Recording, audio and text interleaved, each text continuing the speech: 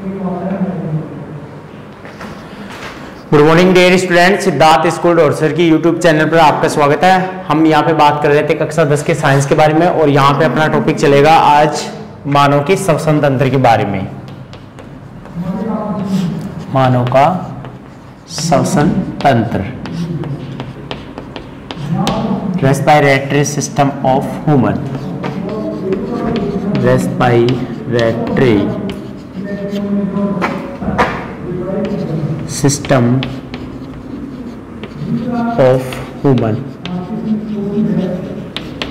सबसे पहली बात होती है कि जैसे कि हमने इससे पहले जो मानव के डाइजेस्टिव सिस्टम के बारे में पढ़ा था, ठीक है? डाइजेस्टिव सिस्टम का कार्य होता है कि भोजन का पाचन करना और पचित भोजन से अवशोषण करना, वो किसका कार्य था? Digestive system. यहाँ पे बात करते हैं जो अपना रेस्पिरेटरी सिस्टम, यानी जो श्वसन तंत्र होता है। जैसे कि आप देखते हो कि सामान्य बोलचाल में कि जब हम क्या करते हैं ओ ग्रहण करते हैं सी बाहर निकालते हैं तो इसे क्या कहते हैं? श्वसन कहते हैं। श्वसन की परिभाषा क्या होती है? जब ओ को ग्रहण करते हैं और सी क्या करते हैं? हम वातावरण में मुक्त करते हैं। इस क्रिया को हम क्या कहते हैं? श्वसन कहते हैं। अब श्वसन की पूर्ण रूप से डेफिनेशन क्या होती है कि हम क्या करते हैं कि जो ऑक्सीजन ग्रहण करते हैं, ठीक है? इस ऑक्सीजन के द्वारा जो आपके जो पोषक पदार्थ, जो खाद्य पदार्थ होते हैं, ठीक है, इनका ऑक्सीकरण होता है, ठीक है, और ऑक्सीकरण होने के फलस्वरूप हमारे को क्या मिलती है? ऊर्जा मिलती है तथा CO2 व जल मुक्त होता है तो वो क्रिया क्या कहलाती है? आपकी श्वसन कहलाती है। तो यहाँ पे देखो कि बात करते हैं कि श्वसन क्या होता है, कि सामान्य बोलचाल में O2 ग्रहण करना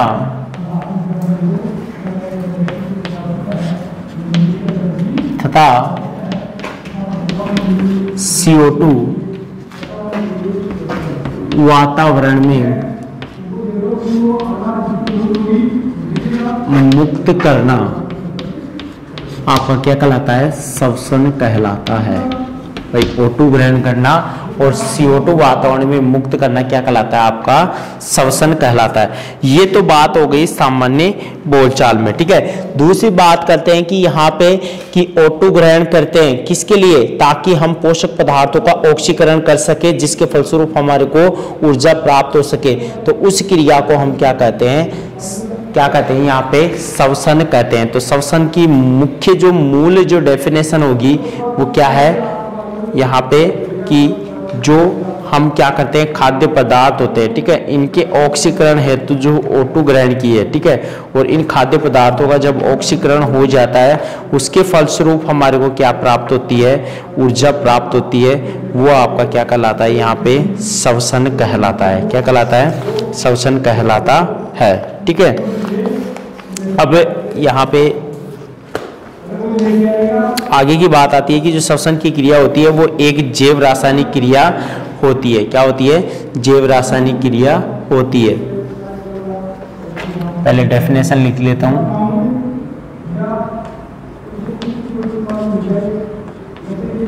पोषक पदार्थों का पदार्थों का, ऑक्सीकरण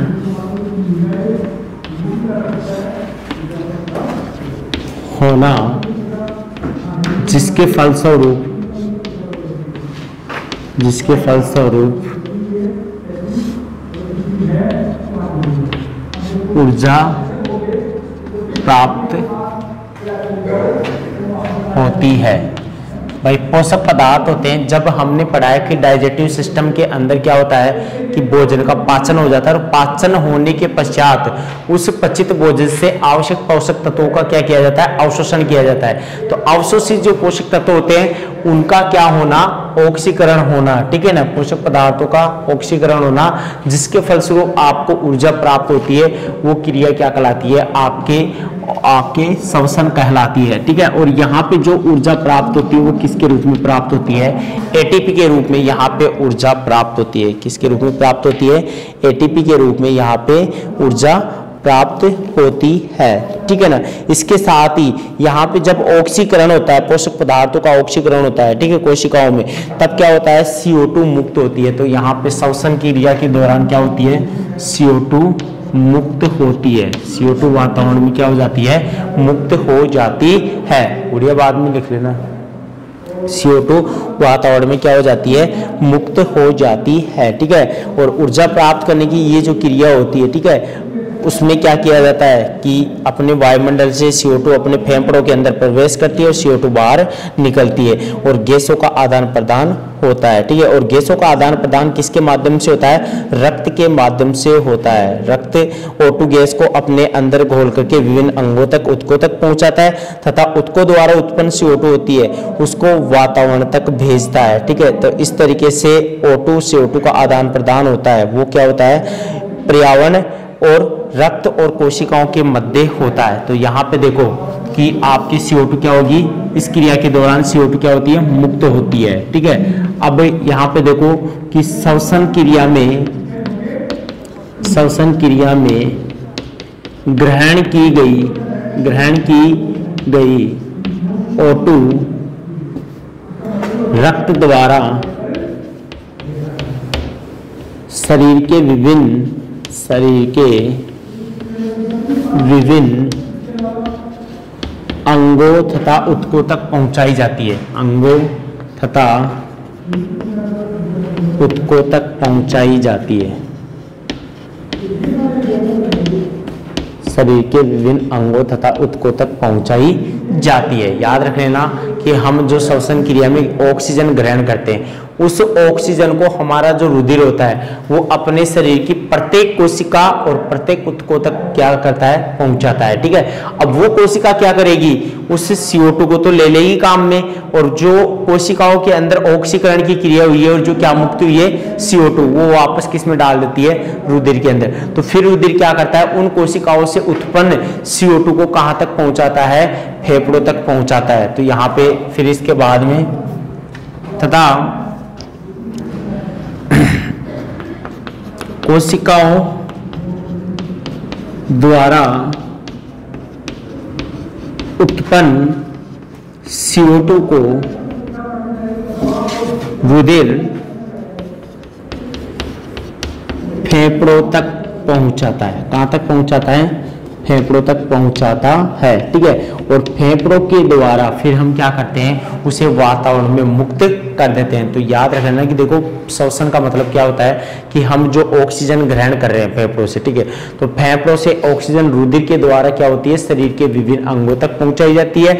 अब अंगों या उत्कों में क्या होता है? पोषक पदार्थों का ऑक्सीकरण होता है। किनका ऑक्सीकरण होता है? पोषक पदार्थों का, जिसके फलस्वरूप वहाँ पर क्या होती है? ऊर्जा बनती है और साथ में सीओ मुक्त होती है, ऊर्जा और सीओ तो यहाँ पे कोशिकाओं के अंदर जो CO2 मुक्त होती है। उसको रुधिर लेकर के वापस कहाँ पे पहुँचता है? फेफड़ों में। और फेफड़ों के द्वारा क्या कर दिया जाता है? उसको वातावरण में उत्सर्जित कर दिया जाता है। इस प्रकार की जो क्रिया होगी, वो आपकी श्वसन कहलाती है। अर्थात गैसों का आदान प्रदान, यानी CO2 O2 का आदान प्रदान होना ही क्या होता है? श्वसन। और श्वसन किन किन के मध्य आपके इसमें कार्यरत कौन रहता है? वातावरण, रुधिर और कोशिकाएँ तीनों परस्पर क्या होती है? इन तीनों के मध्य क्या होती है? क्रिया होती है।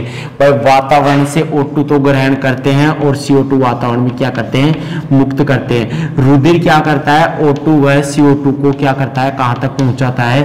कोशिकाओं तक पहुंचाता है। कौन पहुंचाता है? ब्लड। तो यहाँ पे देखो, तीनों के मध्य क्रिया एक तो ये क्या हो गया ऊपर वाला तो वातावरण। ठीक है? वातावरण आपके जो रुधिर और जो कोशिका होती है, इन तीनों के मध्य ये क्या होती है? क्रिया संपन्न होती है। श्वसन की क्रिया, भाई, वातावरण से तो O2 CO2 का आदान प्रदान होता है और ब्लड क्या करता है? O2 CO2 को लाना और ले जाने का कार्य करता है और कोशिकाएँ क्या करती है? O2 और CO2 के द्वारा, जिसे O2 के द्वारा क्या करती है? एटीपी के रूप में ऊर्जा का मोचन करती है। यह क्रिया क्या होती है? श्वसन होती है। ठीक है ना? अब देखो, श्वसन की क्रिया के दौरान क्या होता है कि जो ऑक्सीजन होती है, ठीक है, जिसे हम शुद्ध वायु कहते हैं तो ऑक्सीजन क्या होती है? अपने नाक, गले और श्वास नलियों से होती है कहाँ तक पहुँचती है? फेफड़ों तक पहुँचती है। तो याद रखना कि श्वसन मार्ग, देखो, यहाँ पे सबसे पहले कहाँ से? नाक से वायु प्रवेश करती है। नाक से जो सी होती है, ठीक है, वो प्रवेश करती है। ये किसके द्वारा? यहाँ पे कंठ कंठ यानी जो अपना गला होता है, उससे होती है कहाँ पे? श्वास नली। कहाँ पे जाती है? श्वास नली में। ठीक है ना? और फिर श्वास नली से कहाँ तक जाएगी वायु? फेफड़ों तक। कहाँ तक जाएगी? फेफड़ों तक। ठीक है? और फेफड़ों के अंदर क्या पाई जाती है? कुपिकाएँ पाई जाती है। क्या पाई जाती है? कुपिकाएँ ठीक है? और इन कुपिकाओं में क्या हो जाती है? वायु भर जाती है। तो हम जो ऑक्सीजन ग्रहण करते हैं, ठीक है? वो अपने नाक के द्वारा होती है, अपनी श्वास नली से होती है, अपने फेफड़ों की कुपिकाओं में भर जाती है, ठीक है? अब यहाँ पे देखो कि कुपिकाओं की जो झिल्ली होती है, देखो आगे की बात आती है कि जो ये कुपिकाएँ होती है, ठीक है? इनकी कुपिकाओं की जो झिल्ली होती है, परत होती है, ठीक है? वो अत्यंत पतली होती है। कुपिकाओं की झिल्ली क्या होती है? पतली होती है। भाई, इन कुपिकाओं की झिल्ली कैसी होती है? पतली होती है, ठीक है? और जो यह पतली, अत्यंत पतली झिल्ली होती है, ठीक है? इसके अंदर क्या होता है? रुधिर केशिकाओं का जाल पाया जाता है। किसका पाया जाता है? रुधिर केशिकाएँ। क्या पाई जाती है? रुधिर केशिकाएँ याद रखना कि जो कुपिकाएँ होती है, ठीक है, उन कुपिकाओं की भित्ति पतली होती है और उस पतली भित्ति पर क्या पाया जाता है? रुधिर केशिकाओं का जाल पाया जाता है, ठीक है, और जो रुधिर केशिकाएँ होती है, वो आपकी रुधिर वाहिनियाँ होती है, बिल्कुल महीन पतली वाहिनियाँ होती है। इन्हें क्या कहते हैं? महीन, इन्हें कहते हैं महीन पतली रुधिर वाहिनियाँ। क्या कहा जाता है? इन्हें महीन पतली रुधिर वाहिनी कहा जाता है। किन्हें कहा जाता है? जो आपके, इसके कोपिकाओं की जो पतली झिल्ली होती है, जिसमें जो रुधिर केशिकाएँ होती है उनको महीन पतली और रुधिर वाहिनी कहा जाता है। रुधिर केशिकाओं को महीन पतली, अर्थात इनके अंदर रुधिर बहता रहता है। ये छोटी छोटी नलिकाएँ होती है जिनमें रुधिर बहता रहता है। और उसी रुधिर के द्वारा क्या उसी रुधिर में क्या होती है? ओटो और सी का क्या होगा? आदान प्रदान होता है। तो याद रखना, कुपिकाओं की जो वित्तीय होती है, वो अत्यंत पतली होती है, जिसमें रुधिर केशिकाओं का जाल पाया जाता है। किनका पाया जाता है? रुधिर केशिका आपकी रुधिर वाहिनियाँ होती है, तीन प्रकार की होती है। एक तो होती है आपके धमनी और एक होती है आपकी सिराएँ और तीसरे प्रकार की कौन सी होती है आपके जो रुधिर के सिकाएँ होती है, ठीक है? ये तीन प्रकार की रुधिर वाहिनियाँ होती है। तो यहाँ पे जो कोशिका या अंग उत्तक होते हैं, ठीक है? वहाँ पर जो रुधिर की जो नलिकाएँ होती है, वो बिल्कुल छोटी छोटी हो जाती है, जिन्हें हम क्या कहते हैं?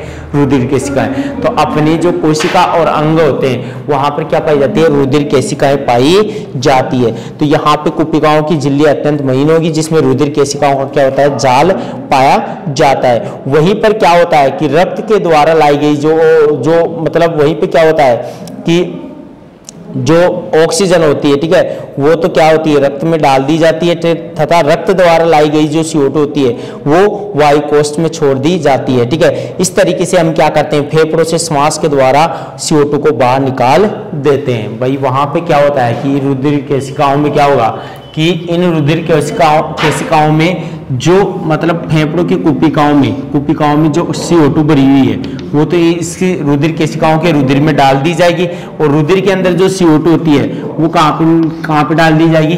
कुपिकाओं के अंदर। पर रुधिर के अंदर, यहाँ पे रुधिर केशिकाओं का जाल है और रुधिर केशिकाओं के जाल के अंदर क्या होगा? यहाँ पे जो सी होगी, ठीक है, उसको बाहर निकाल करके कुपिकाओं में और कुपिकाओं की सीओ को रुधिर में मिला दिया जाएगा, ठीक है। इस तरीके से क्या होता है, यहाँ पे श्वसन की क्रिया होती है, ठीक है ना? तो ये बात है कि, और फिर हम क्या कहते हैं कि फेफड़ों के द्वारा उस सीओ को वातावरण में छोड़ दिया जाता है। तो ये पाए अब बात करते हैं मानव के श्वसन तंत्र के बारे में। तो देखो, मानव के अंदर जो श्वसन तंत्र होता है, वो विकसित प्रकार का श्वसन तंत्र पाया जाता है। भाई, मानव के अंदर क्या होता है? सबसे डेवलप प्रकार का, सबसे विकसित प्रकार का श्वसन तंत्र पाया जाता है। और मानव के श्वसन तंत्र को हम दो भागों में बांट रखा है, ठीक है? भाई, मानव के श्वसन तंत्र, उसे मुख्य रूप से सॉरी तीन भागों में बांट रखा है आपके। एक तो ऊपरी श्वसन तंत्र एक निचला श्वसन तंत्र और एक क्या होती है? श्वसन मांसपेशिया, ठीक है? तो उन तीनों के बारे में हम कल स्टडी करेंगे। आज के लिए इतना ही, धन्यवाद।